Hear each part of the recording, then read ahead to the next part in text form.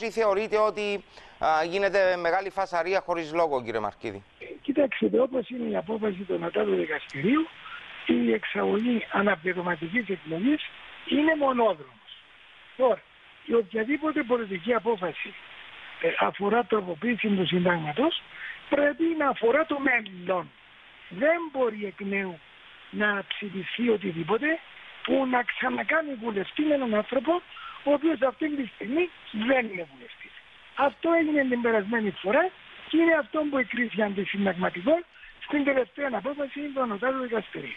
Δηλαδή, Τώρα, ναι, δηλαδή κύριε Μαρκίδη, πάμε σε αναπληρωματικές εκλογές για να κα- καταληφθεί ε, και να αποδοθεί η έδρα εκεί όπου θα ορίσει η λαϊκή κυριαρχία και από Μάλιστα. την άλλη αν θέλουμε σε δεύτερο χρόνο να τροποποιήσουμε το Σύνταγμα για να μην ξαναβρεθούμε ενώπιον τέτοιων διλημάτων είναι ένα δεύτερο επίπεδο. μπορεί να γίνει από τώρα και με διευκρίνηση ότι αυτό το πράγμα δεν θα έχει αναδρομική ισχύ. Όσο διαφορά, εάν δεν θέλουν να είναι 1000% σίγουροι, μπορεί να τροποποιήσουν το Σύνταγμα και για τη συγκεκριμένη περίπτωση, νοουμένου ότι θα πούν ρητός ότι η, συγκεκριμένη, η έδρα που λείπει αυτή τη στιγμή από τη Βουλή θα, αναπληρωθεί με, θα, θα πληρωθεί με αναπληρωματική εκλογή.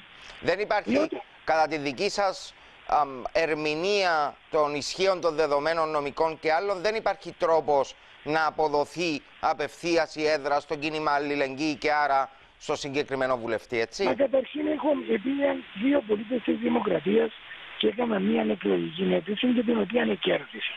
Και το ανώτερο δικαστήριο είπε ότι εκείνος ο νόμος που ψήφισε η Βουλή είναι αντισυνταγματικός διότι ακριβώς η, διεξα... η μη διεξαγωγή αναπληρωματικής εκλογής είναι εξαίρεση από την αρχή της λαϊκής κυριαρχίας και αφορά την περίπτωση που καινούται μία έδρα μετά την έναξη της βουλευτικής περίοδου και όχι ε, πριν από την έναξη της βουλευτικής περίοδου. Τώρα, εάν εγώ ως νομικός διαφωνώ με, την απο... με μια απόφαση του νοματικού δικαστηρίου και δεν διστάζω να σας πω ότι εγώ διαφωνώ με την πρώτη απόφαση Μάλιστα.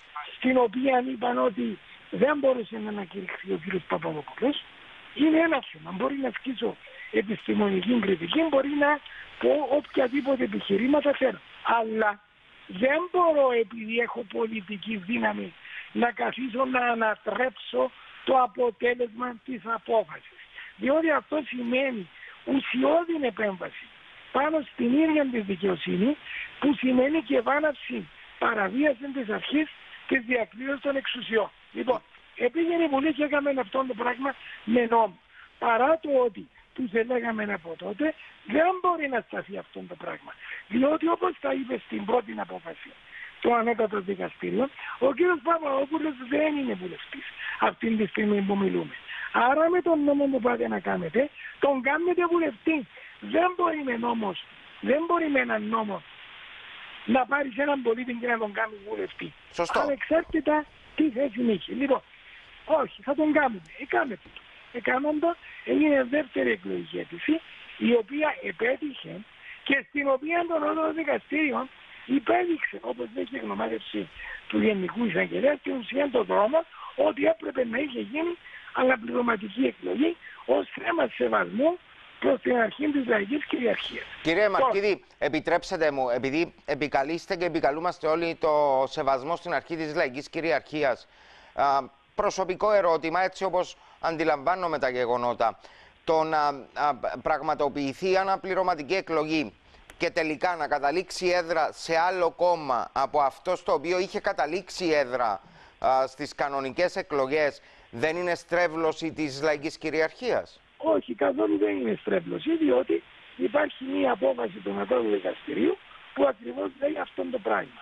Δεύτερο, εκείνα τα κόμματα που λένε ότι είναι θέμα αρχής η έδρα να μείνει στην αλληλεγγύη, ωραία, να πάρουν την πολιτική απόφαση να καλέσουν τους οπαδούς τους να ψηφίσουν τον κύριο Παπαδόπουλο ανεξάρτητα συμφωνούν ή δεν συμφωνούν πολιτικά μαζί του και να υποστούν και έναν κόστος να το πούν αυτό το πράγμα.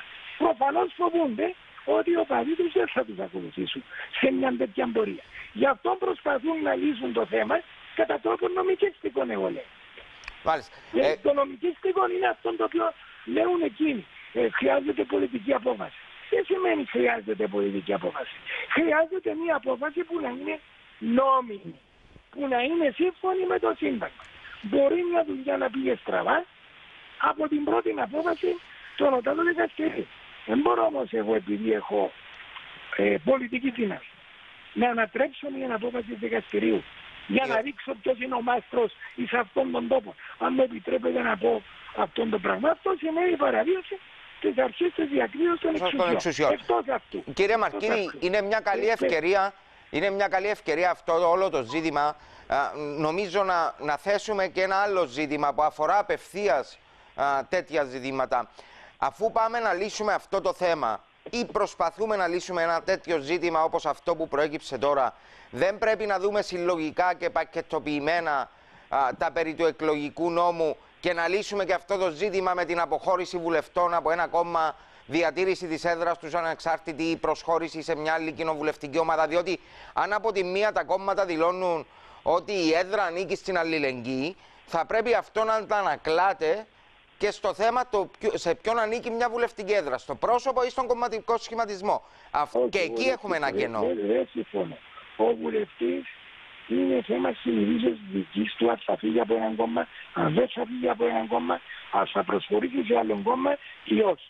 Διότι σύμφωνα με το Σύνταγμα, ο βουλευτής δεν εκλέγεται για να εφαρμόσει συγκεκριμένο πρόγραμμα συγκεκριμένου κόμματος, ε, εκλέγεται σύμφωνα με την αρχή τη αντιπροσωπευτικότητα, προκειμένου να ασκεί την κρίση του όπως ο ίδιος νομίζει, όπως ο ίδιος νομίζει, πάνω στα διάφορα θέματα που καλείται να ψηφίζει και Βουλή με αντιπροσώπου. Εδώ πέρα δεν μπορεί να γίνει.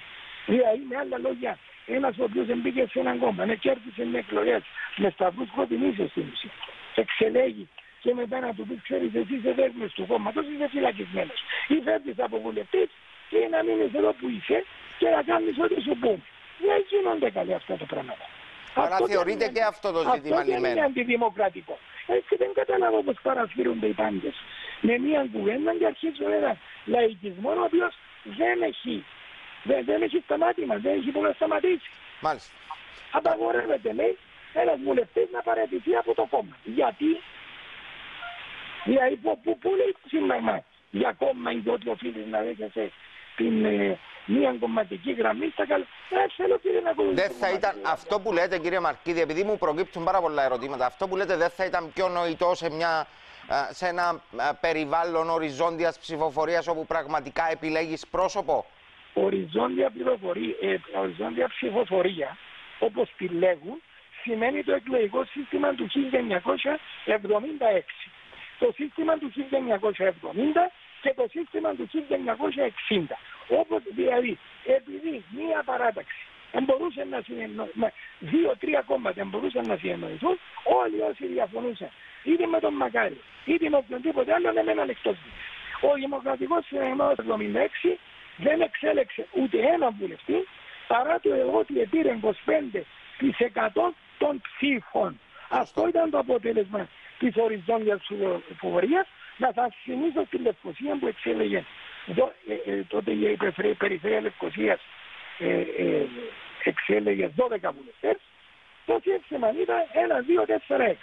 Με άλλα λόγια, έναν που ήταν, που ήταν υποψήφοι του ΑΚΕ, περιορισμένου αριθμού, διότι όλη η δουλειά ήταν ΣΥΚΕ, ύστερα το 2 που ήταν το δικό, το 4 που ήταν η ΕΔΕΚ και η μία έδρα που ήταν ο Τάσος Παπαδόπουλος ως άτομο. Το αποτέλεσμα εξελέγησαν όλοι εκείνοι και δεν εξελέγει ούτε μισό του Δημοκρατικού Συνέδριου, όχι μόνο στη Λευκοσία.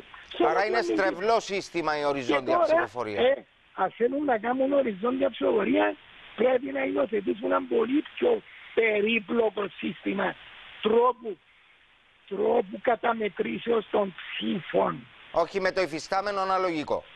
Με το αναλογικό, πώ θα γίνει. Ή έχουμε οριζόντια ή δεν έχουμε οριζόντια. Σωστό. Αν έχουμε οριζόντια, τι εμποδίζει κανένα να είναι ισχυρό κόμμα; Έτσι, να συμφωνήσει με δύο ανεξάρτητους ή ξέρω εγώ με ένα μικρό κόμμα. Ψήφιστε μαζί εσύ, να σε ψηφίσουμε εμείς. Ε, ποιον κόμμα ε, αυτή τη στιγμή δικαιούται ένα κόμμα να βάλει 56 υποψηφίους; Έχει κανένα κόμμα ελπίδα να, να εκλέξει 56 βουλευτές; Όχι. Έχει όμως ελπίδα να εκλέξει 20 βουλευτές ο Δημοκρατικός Συνέδριος. Ωραία. εσύ το δίκο, έχουμε συμμαχία. Δεν κάναμε και κυβέρνηση πριν 10 χρόνια. Συγκυβέρνηση έκαναν πριν, πριν, πριν πόσα χρόνια, το 2013. Ωραία. Εσείς που να αποφασίσαμε να, κάνετε, να κάνουμε μαζί συγκυβέρνηση, εμείς θα βάλουμε ε, 25 υποψηφίους σε όλη την Κύπρο, να βάλετε και εσείς 15 και να λιροψηφιζόμεθα. Το αποτέλεσμα σε εκλεγούς 40 βουλευτές, δημοκρατικός συναγερμός δίκο. Λέω ένα παράδειγμα, Ναι. ίσως ακραίο, αλλά έτσι λειτουργήσε το σύστημα το 76, έτσι λειτούργησε το σύστημα το 70 και προπαντός έτσι λειτούργησε το σύστημα του 60. Το Τι 60. είπαν το 60. Μάλιστα. Ευχαριστούμε οκ. πάρα πολύ κύριε Μαρκίδη. Εξε- Να τελειώσω εξε- μισό λεπτό. Ναι. Το ΑΚΕΛ είχε περίπου 30% των ψήφων από ό,τι απεδείχθησα, από ό,τι απεδείχθη στις προεδρικές εκλογές που είχαν υποψήφιο τον Ιωάννη Κληρίδη. Και μετά τις προεδρικές εκλογές ήρθαν και του είπαν άκου. Μου δες το εκλογικό σύστημα. Θες να είσαι μέσα στη Βουλή, ναι. Θα βάλεις πέντε υποψηφίους και θα εκλεγούν. Αν βάλεις έξι θα εκλεγεί κανένα. Λοιπόν, και έβαλε το ΑΚΕΛ πέντε υποψήφιους. Έβαλε το λεγόμενο πατριωτικό μέτωπο τους υπόλοιπους 30 και εξελέγησαν όλοι. Η οποιαδήποτε αντιπολίτευση ήταν εκτός ΑΚΕΛ. Και ασφαλώς δεν ήταν μακριά. Άρα, καθώς ήταν με ένα αντιπολίτευση. τέτοιο σύστημα Δεν μας είχαν λέτε το έτσι- παραμικρό ελπίδα να εκλεγούν. Κύριε Μαρκίδη, μας λέτε ότι με ένα τέτοιο σύστημα μπορούν να παιχθούν πολιτικά παίγνια σε βάρος της λαϊκής ετοιμιγορίας. Τερά, τεράστια απέγνωση. Να Μάλιστα. ανοίγουν οι ασκοί του αιώλου και αυτή τη στιγμή μπορεί να πει κάποιος στο επίπεδο που έχουμε φτάσει αυτά τα πράγματα μπορεί να μην γίνουν ποιος μπορεί να το βεβαιώσει δεν μπορεί, να- δεν μπορεί να γίνουν μετά από 10 χρόνια.